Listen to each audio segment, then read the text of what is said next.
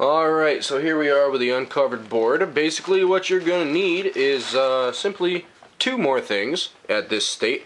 You're going to need some 70% or higher isopropyl alcohol. Just use regular rubbing alcohol because we want to clear all this goop off. And uh, cotton balls. Cotton balls, they work fairly nice, but uh, be sure to make sure the cotton ball is actually soaked and not cottony like this so you don't leave any cotton residue on the CPU or GPU. So uh, I'm just gonna kind of drench this in alcohol here. So give me a moment. Here we are, and uh, simply just kind of go around in circular motion to get all this goop off. So I'm just gonna take this goop off. And uh, be sure that there's no goop sliding down the sides and things like that, you know, all that fun shit. Don't be afraid to really get in there because isopropyl really isn't to, you know, hurt anything. But make sure that none of this goop is on the board. That's the most important part. You don't want any of this on the board because that is what causes the red light to go off. Heat transferred to the board of overheating, so it reads it as like overheating so you want to get as much off as possible. So I'm just going to go ahead and do that, and I will be right back. Alrighty, so now that you've cleaned off the two heat sinks, um, in the same way as you cleaned off the GPU and CPU of the silver goop, I like to call it, um, uh, we're going to proceed to the next part. But before we do that, there's a little battery right here that you're going to want to remove. So take that battery out, however the fuck comes out. Uh, I'm just going to pop it out real quick with a flathead screwdriver. So give me two seconds, and I'll have it on out of there for you. Going to pop it on out. The back side. Pop it out from this side. Not this side, this side. Keep that battery someplace safe and I just blinded y'all with the battery. There we go, there's the CPU and the GPU. And uh, this is to be our main focus. So, here's the board. There's the heatsink and everything. And let's go to the next station. And you're to need your heat gun and a power supply for this. Alright, so here's the segment of the video where you're going to want to use the heat gun. So you're going to grab your heat gun right here. And uh, simply what we want to do right now is we want to preheat the board. Now preheating the board is so everything is equalized. So nothing gets overheated or things like that. So I'm just going to plug this heat gun in like so. And I'm probably going to blow the breaker in my wall. But uh, heat gun produces heat. You want to hold the heat gun about yay high above the board, something like that. And you want to preheat the board. Now what you want to do is you don't want to leave it in one space. You want to constantly move this heat gun gradually throughout the board and you want to do this for about five or six minutes. So I'm just going to go ahead and start that now. So again, don't leave it all in the same place. Be sure to move the heat gun around. And again, we want to preheat the board. We want to get the board ready for this little sink that we're going to be doing. So you want to move this back and forth like so. You want to preheat the board. You can go ahead and feel the board, see if it's getting a little warm. You'll be able to start to smell it and uh, that's nothing, that's probably just dust and shit, because PS3 is how often do you usually open them, right? And uh, you want to go around in a circular motion or something like that with the heat gun, hold it yay high. And uh, the most important thing is, is you want to have the board level as possible.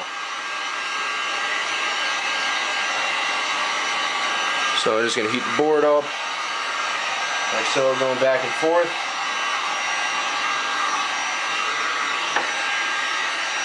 Now once the board gets fairly warm, which won't be for about another like 5-10 minutes or something like that, I may even fast forward in this video for you because who likes to wait, you know what I mean?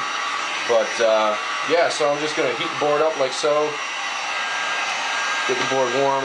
Now I've seen videos on YouTube where they do it from both sides and things like that, but mainly, you know, we're focusing on this side and the board, if you feel it, it does heat all the way through. So when you pick up the board and you got like a certain temperature where you can feel like heat transferring, this is when you want to focus on the CPU and GPU. So kind of come on down to CPU and GPU and do circular motions and then kind of like count the 10 on each one and then move to the next one. You want to do this about maybe seven or eight times. So there's one time.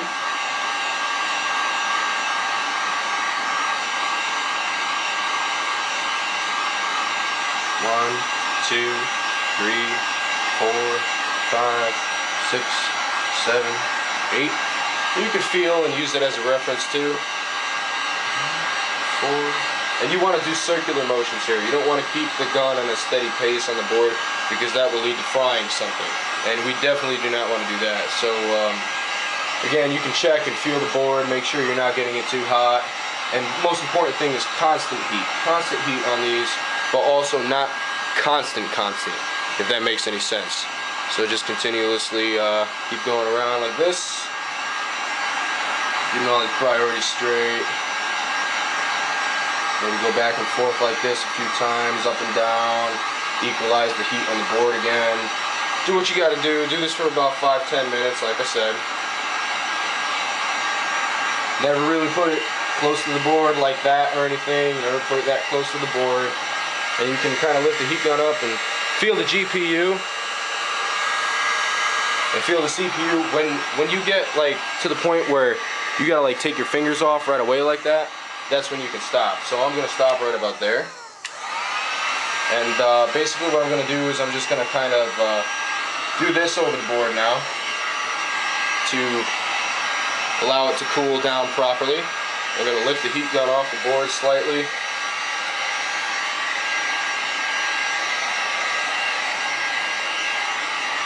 And again, we want to do this properly. We want to be very careful doing this.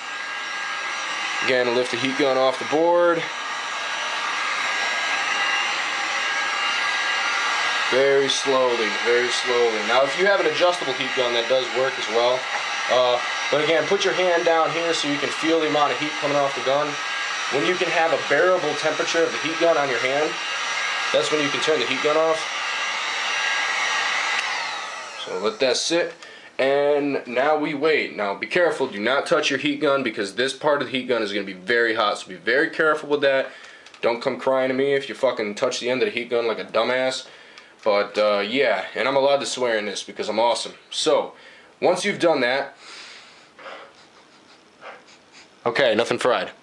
As I'm over there smelling the board. So, you want to let this sit and do not move the board. Do not move the board. Let this sit for about a half hour to 45 minutes, come over and feel the temperature. If it's slightly warm at all, if these two metal plates are warm at all, the CPU or the GPU, if they're warm at all, don't touch it. Let them cool completely until they're like room temperature. So we will be back.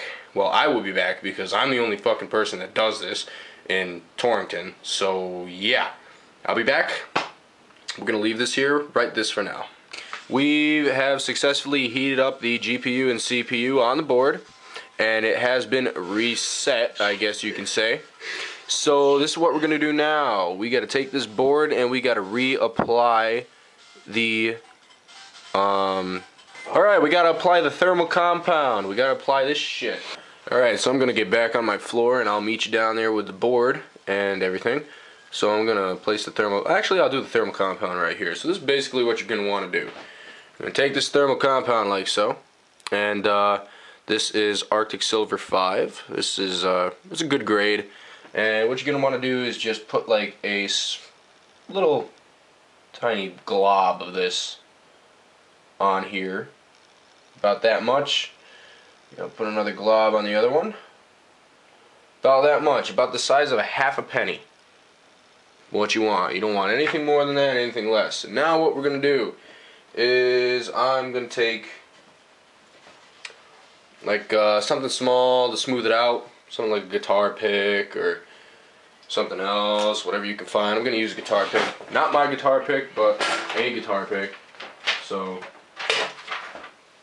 you get your hands on a guitar pick or if you fix iPods or something like that, you can use one of these. And what you're going to want to do is just kind of spread this across the board like so. So, uh, yeah, bear with me on this. And add the compound to as you need it. Not as like, you know, let me put a big massive fucking glob on it and fuck it all up. So, add it as you need it. And then for the last part, I kind of like to go around in a square. And just kind of group it all around. And you want to make sure that you don't get any down on the sides either. Because that will release uh, get you with you know the goop kind of overlaying and things like that. And again, it doesn't really have to be like perfect or anything. As long as you got a good amount on there, you should be fine. Just try and get it on there as best as you can.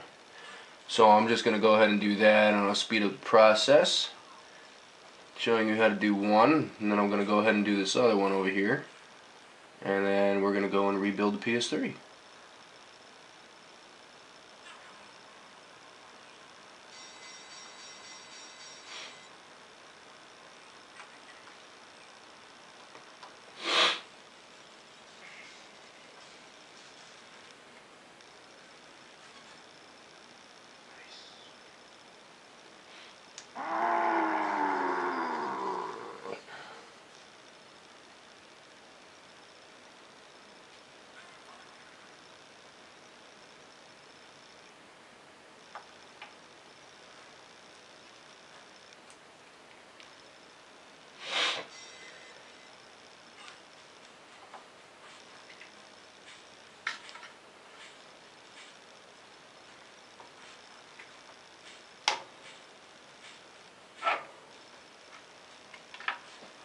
I would grab the one that's like more empty.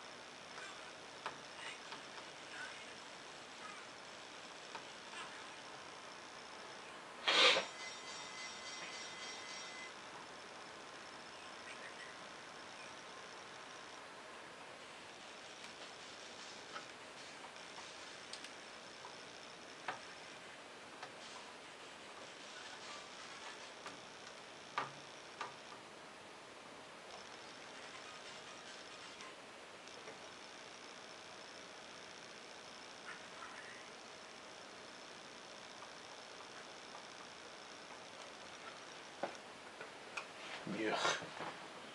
I hate that shit. You know how much this is?